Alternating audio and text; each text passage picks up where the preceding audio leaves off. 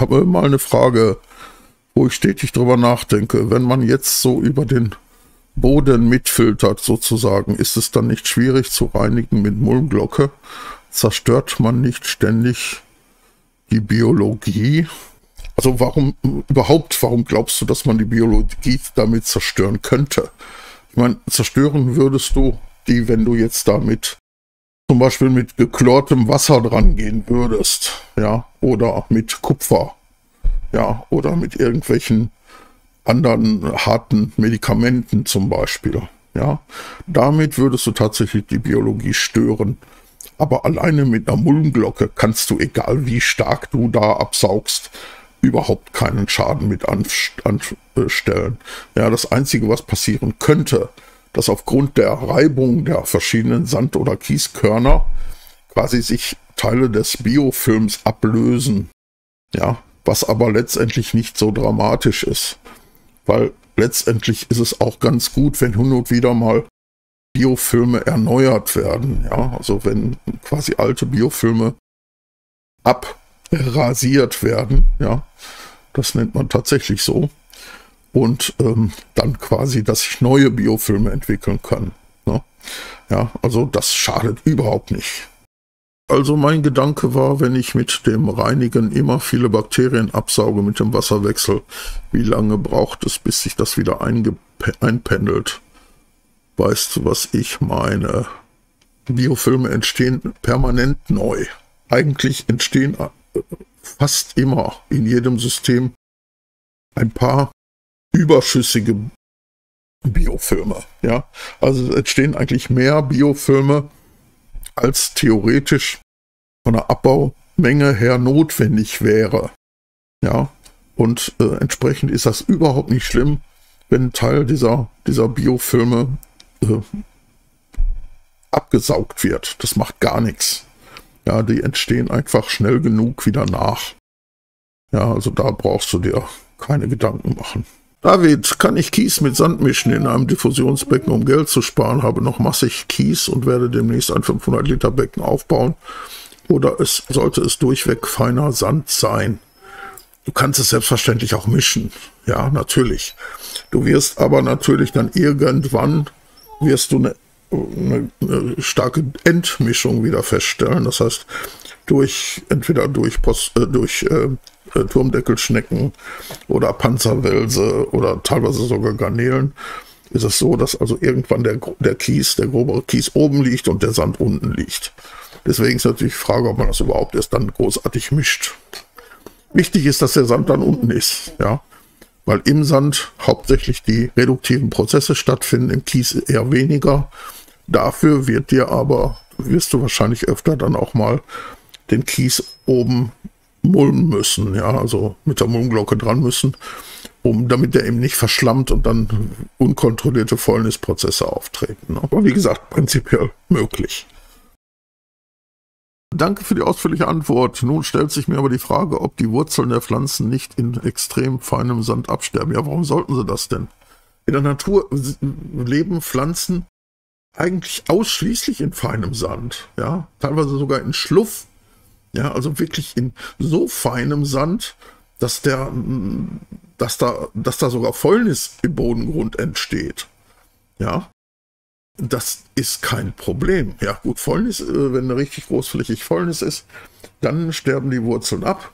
Aber ansonsten, solange der Sand in, in Ordnung ist, solange da nur leicht reduktive Prozesse stattfinden, ja, das darf ruhig leicht grau werden, ja, das geht ja schon fast Richtung Fäulnis, aber es darf nicht schwarz werden.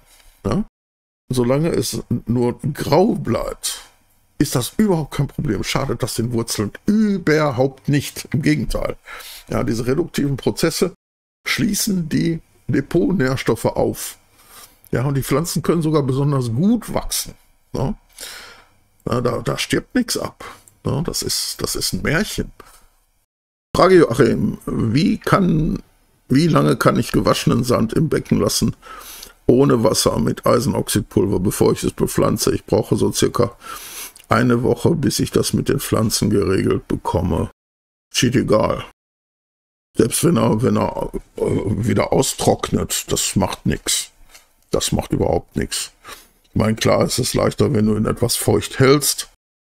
Na, dann nimmt er also, braucht er sich es nicht wieder langsam mit Wasser voll zu saugen. Es entstehen nicht gleich so viele Bläschen. Ja, aber wie gesagt, letztendlich ist es, ist es egal. Fördert nicht Vulkangranulat und verschiedene Größen die Durchströmung des Bodens.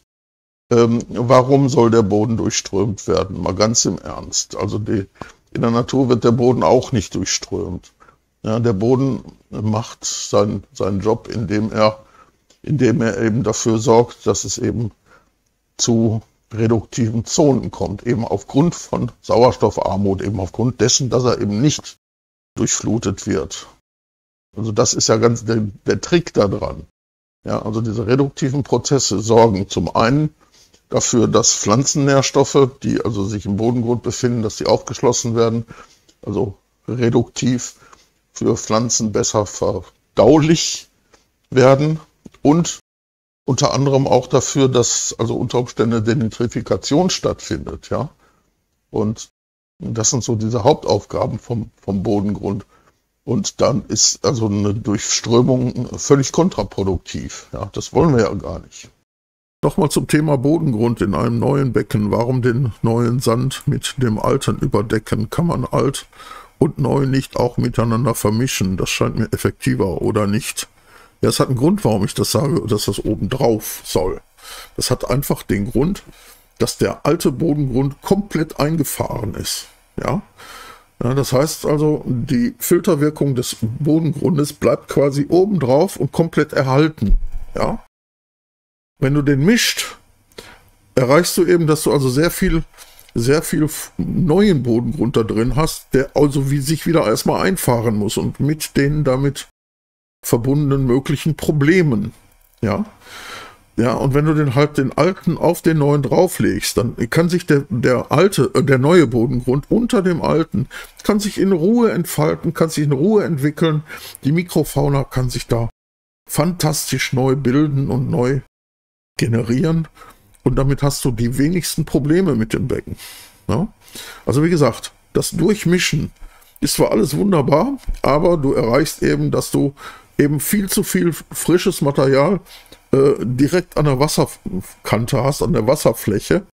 Ja, und damit halt dann auch äh, quasi Einfahrprobleme, ja, ganz stinknormale Einfahrprobleme bekommst.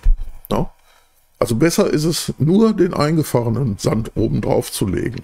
Ja? Also den eingefahrenen Bodengrund. Und zwar sogar möglichst mit Mulm drin, ja, also mit dem Mulm und den Sedimenten, die sich da drin befinden.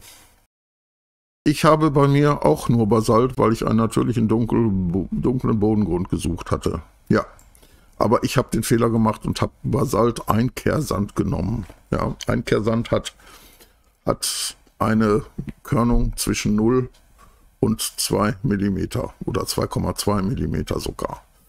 Und da ist jede Menge Schluff drin. Und dieser Schluff hat die Eigenschaft, das Wasser aufzuhärten und, und deswegen ähm, muss man den also auf jeden Fall extrem gut vorher sauber machen. Ja, sonst äh, macht er nur Ärger. Ich habe da nur Probleme mit gehabt. Ja, also hier das, das 60er hier hat von Anfang an massivst Probleme gemacht. Und hier an dem 80er, das, das hatte ich ja vorher zu Hause laufen, da hatte ich auch den gleichen Sand drin. Allerdings eine andere Charge. Da scheint nicht ganz so viel Schluff drin gewesen zu sein.